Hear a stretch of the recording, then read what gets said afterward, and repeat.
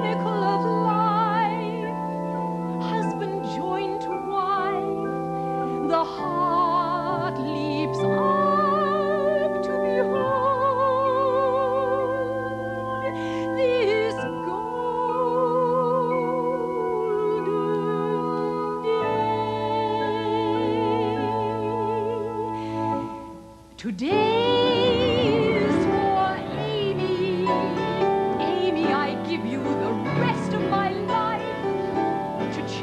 Cherish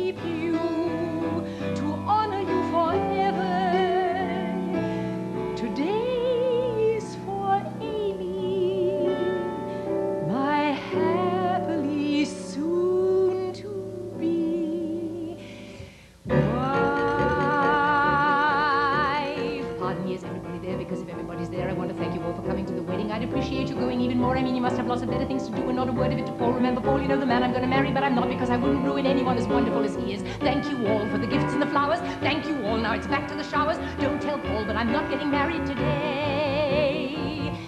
Bless this day, tragedy of life,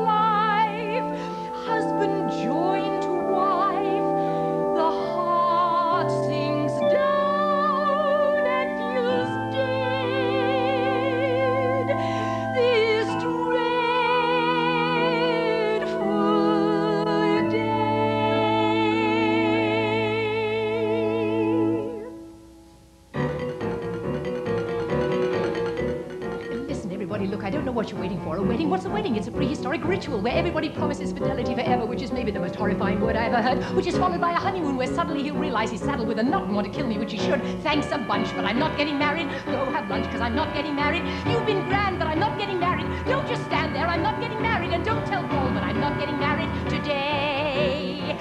Go, can't you go? Why is nobody listening? Goodbye, go and cry at another person's wake. If you're quick for a kick, you could pick up a christening. But please, on my knees, there's a human life at stake.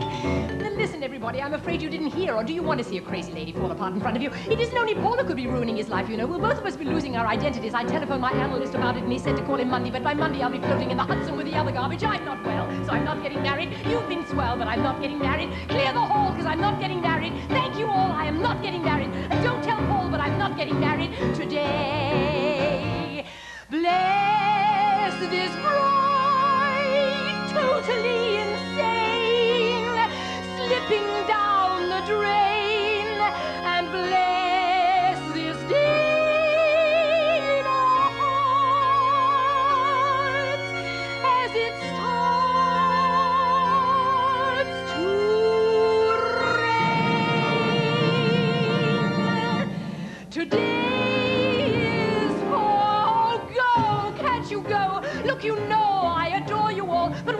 Watch me die like Eliza on the ice? Look, perhaps I'll collapse in the apse right before you all. So take back the cake, burn the shoes, and boil the rice. Look, I didn't want to have to tell you, but I may be coming down with hepatitis, and I think I'm going to faint. So if you want to see me faint, I'll do it happily. But wouldn't it be funnier to go and watch your funeral? So thank you for the 27 dinner plates and 37 butter knives and 47 paperweights and 57 candle holders. One more thing, I'm not getting married. As I've said, I'm not getting married. Stop your ring, I'm not getting married. Fred is dead,